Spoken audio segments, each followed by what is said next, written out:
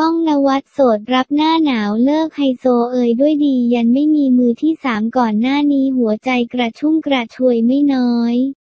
เพราะมีแฟนเด็กสำหรับพระเอกหนุ่มป้องณวัฒน์แต่ล่าสุดตอนนี้หนุ่มป้องประกาศโสดแล้วจ้า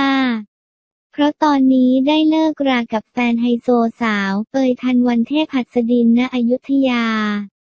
โดยหนุ่มป้องเผยเรื่องดังกล่าวที่งานเปิดตัว GoPro Hero 6 และกล้องใหม่ล่าสุดจาก GoPro ที่เซ็นทรัลเวิลด์งาน happy แบบนี้หัวใจเป็นอย่างไรบ้าง หัวใจตอนนี้ปกติครับก็โสดครับไม่มีอะไรก็ห่างๆ กันแล้วไม่ค่อยได้คุยกันแล้วเป็นเพราะมีข่าวไม่เกี่ยวกันครับ ก็อย่างที่เคยบอกว่าลองคุยลองคบกันดู เป็นแฟนกันไม่จำเป็นต้องแต่งงานกัน ลองคุยแล้วไม่ work เข้ากันไม่ได้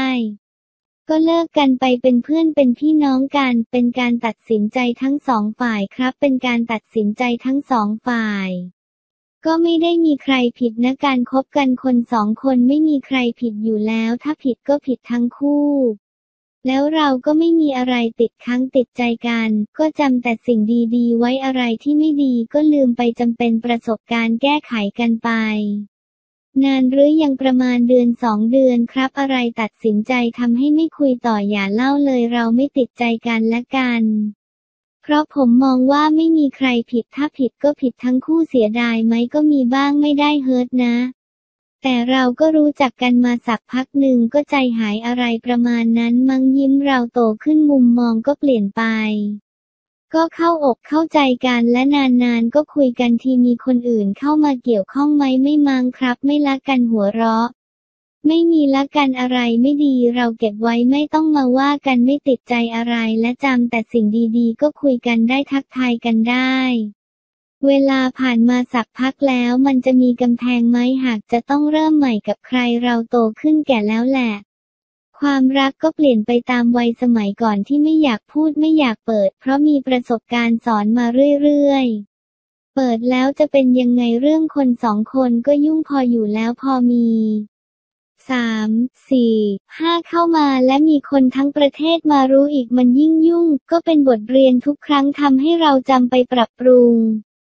ถ้าจะมีอีกครั้งหน้าอะไรไม่ดี เราก็เก็บอะไรอะไรดี เราก็ควรจะถนอมยังไงแม่ว่าอย่างไร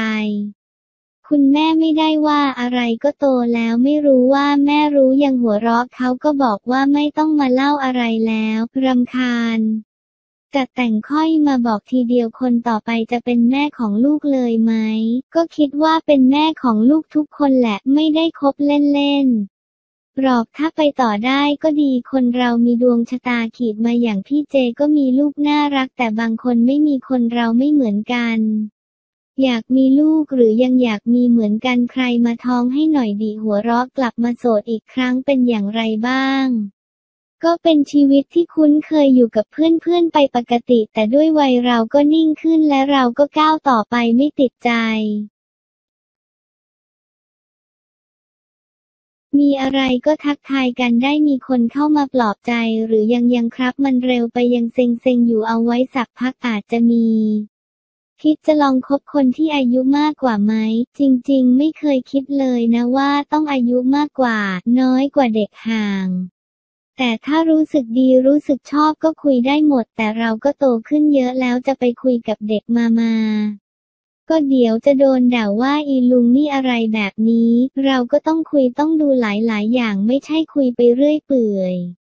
ต้องเลือกยังไงไหมไม่ต้องเลือกหรอกครับ เพราะไม่ใช่แค่เราเลือกเขาเขาก็ต้องเลือกเราด้วย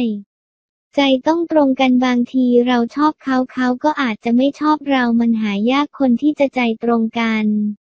ไม่ใช่ว่าหล่อแล้วคนจะมาชอบทุกคน ตอนนี้ปิดหัวใจไม่ได้ปิดใครมาก็คุยได้ครับ